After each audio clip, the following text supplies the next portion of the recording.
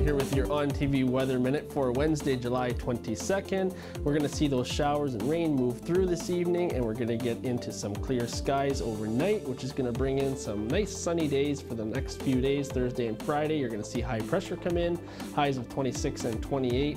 And we're going to see on Saturday, we're going to see a change. We are going to keep that heat and humidity going, 30 degrees with a humidex of 38, but we may see some rain and thunderstorms overnight. That will continue on Sunday with a high of 28 with that risk as well.